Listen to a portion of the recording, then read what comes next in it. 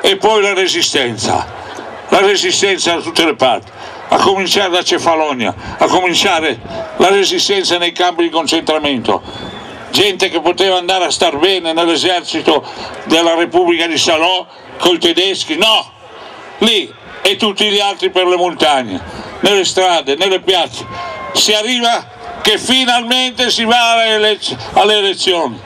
E finalmente in questa Italia votano le donne. 500 530 530 32 padri della Costituente. E nasce la Costituente. E nasce la Costituente. Mi ricordo che io ho già avuto 5 cardinali arcivescovi. E una volta uno mi dice ma preghi? Scherzando. Certo che prego quando voi vescovi fate delle zuppe girate di qui di là, prego, però eminenza, io una, dopo le mie preghiere ce n'ho un'altra preghiera. E qual è? Qual è? E lui, oh, e lui è lì tutto intrigante, mi dice qual è? Sono i primi 12 principi della Costituzione italiana. Vi rendete conto? Un'altra volta, un'altra volta mi dice di che santi sei devoto. Io sono figlio di Don Bosco. Sì, Don Bosco sei salesiano. E eh beh, però allora eminenza, io sapevo che nella lista dei santi della Chiesa, no? Ci sono i sette santi fondatori di Vicenza sette mercanti abbiamo venduto tutto andate ai poveri. E allora gli dico eminenza io vado alla grande. Sono devoto di sette santi. E lui mi fa oh che bravo. Sei devoto dei sette servi di Vicenza ma non solo di Vicenza come non Vicenza? Ma nella lista dei santi nella chiesa non c'è. E eh sì che ci sono. Metteteci se non ci sono. Quali sono questi sette santi?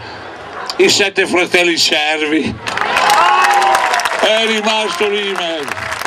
E allora permettetemi un attimo, a dicembre del 47, a dicembre del 47, presenti 515, votano la Costituzione, 90% di voti sì, a proposito di sì e no poi li tocchiamo, anzi lasciamolo visto che c'è Maurizio Landini come, come si chiama più l'amministratore delegato della FIA Minchione, come si chiama?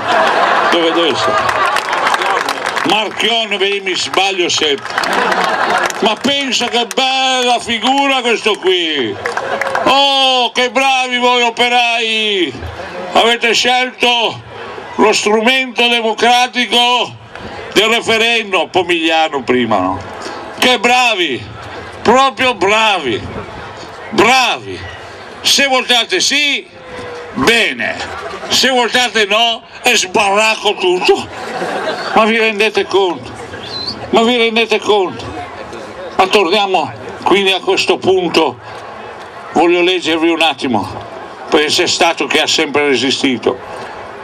Due minuti per dirvi un articolo di Giorgio Bocca, grande partigiano, lo ricordiamo, di giustizia e libertà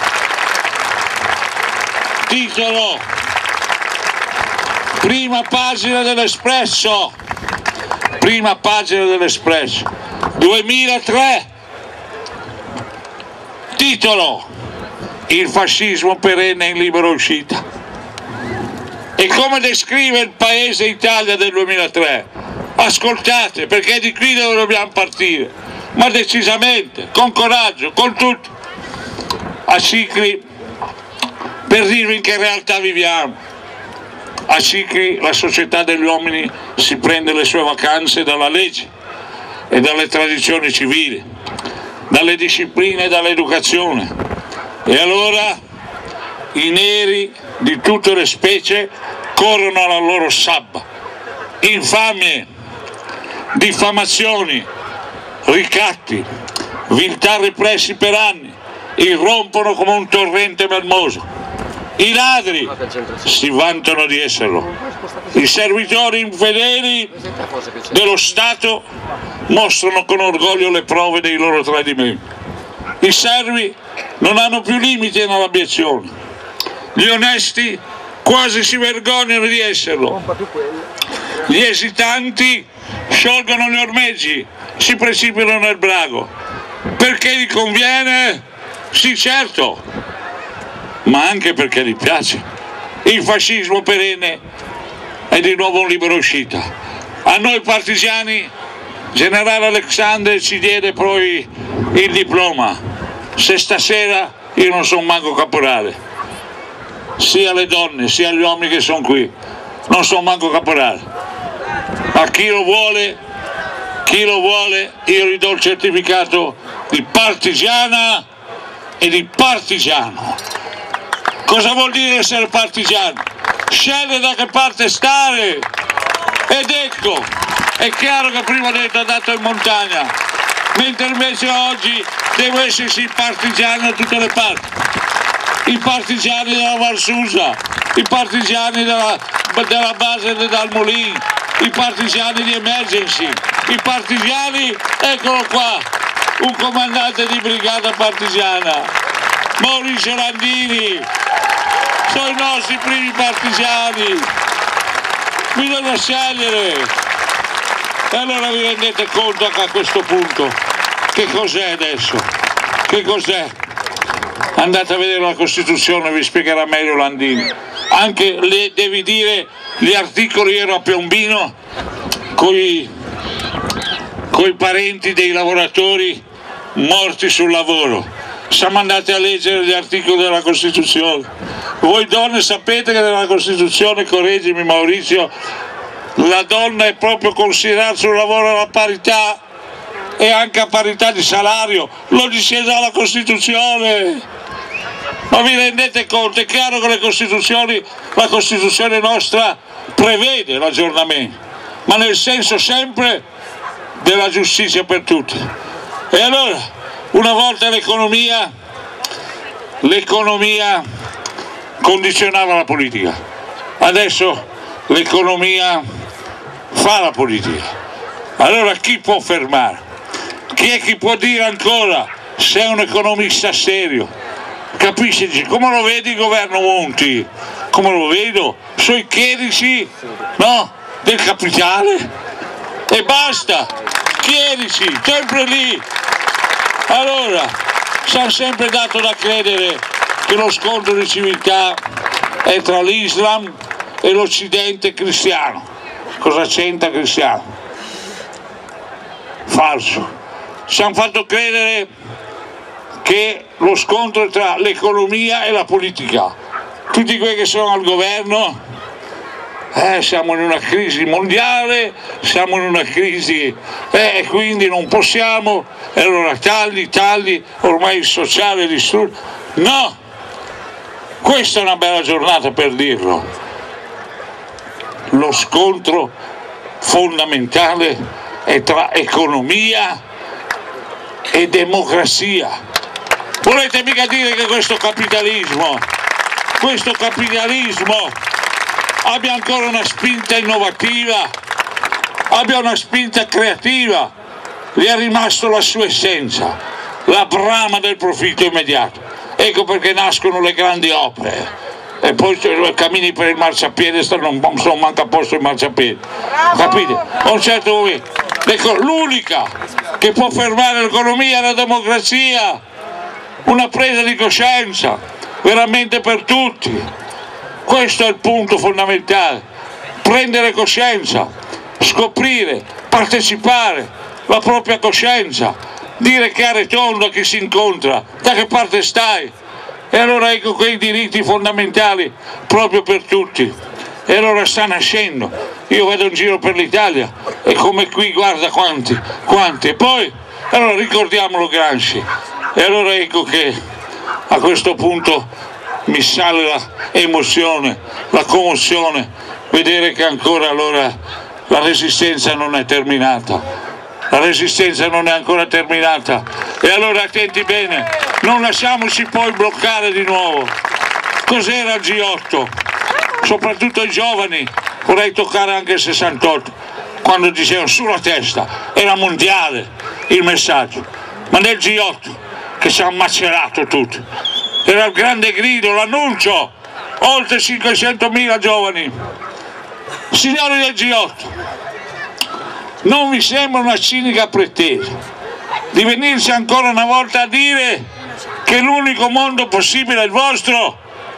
Banca Mondiale, Fondo Monetario Internazionale, Organizzazione Mondiale del Commercio, avete una divinità unetrina, idolatrica, mercato selvaggio, tecnologia sempre a favore del mercato, sempre. E allora deterrenza totale. Quando il nemico, il nemico non c'è, bisogna crearlo. Per l'economia chi è il nemico? Le lavoratrici e i lavoratori. E questo, non avete bisogno di diritti, non avete nessun diritto. Articolo 18, e piange il cuore quando compatiti erano così, non volessero, va bene, che ancora rivestono cariche di partito, con valori socialisti, con valori comunisti, con valori cristiani, sono tutti lì proni. Quanti li ho visti alla televisione? Lei cosa ne dice a Pomigliano? Allora non dico il nome, non mi piace ferire, è un pezzo grosso. Dice, se io fossi operaio metalmeccanico voterei sì. Io ero vicino a un vecchio compagno della Breda di Pistoia. Prima di tutto dice, non lo è un operaio metalmeccanico, se non sbaglia a nove legislature. Quindi no, secondo, è mai possibile. Quindi guardate, proprio questo bisogno di tirare proprio su la testa e allora a questo punto proprio riscoprire chi siamo. Proprio durante quel G8 mi vennero a trovare il regista Mario Monicelli al mercoledì, grande mio maestro. Al giovedì il regista Ettore Scola, pensa non l'avevo mai incontrato Don Gallo è sempre in mezzo ai giovani, meglio. all'inizio del terzo millennio, 2001, tutte le agenzie educative, mass media, la chiesa, la scuola, riusciremo, riusciremo a sradicare dalle nuove e nuovissime generazioni l'assenza di futuro ed è questo quello che scrivono i sociologi tutti.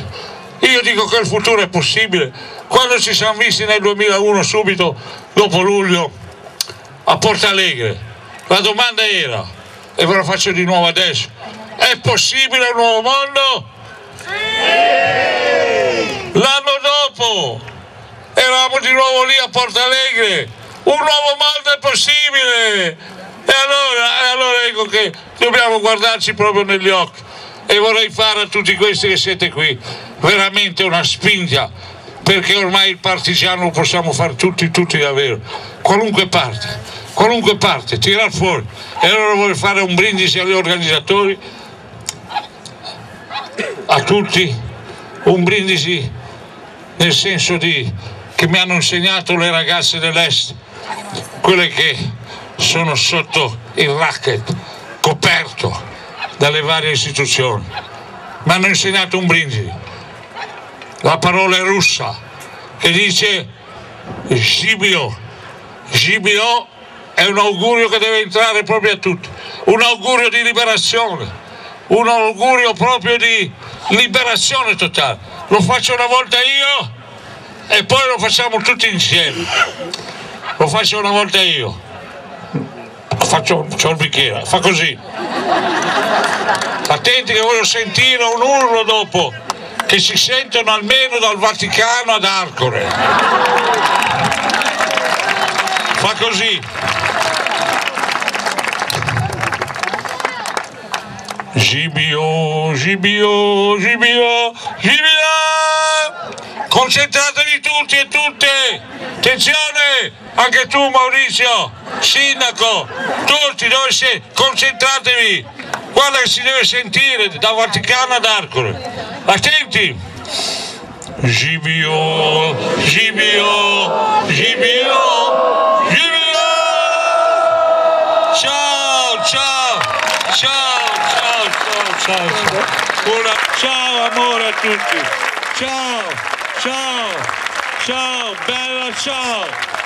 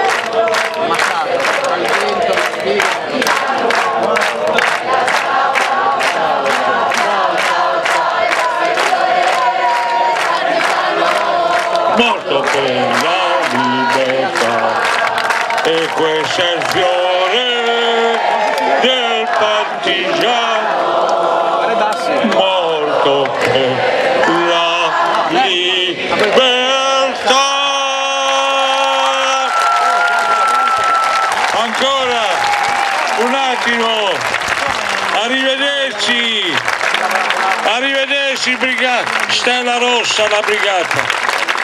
Arrivederci partigiani di tutto il mondo. Arrivederci bandiera rossa.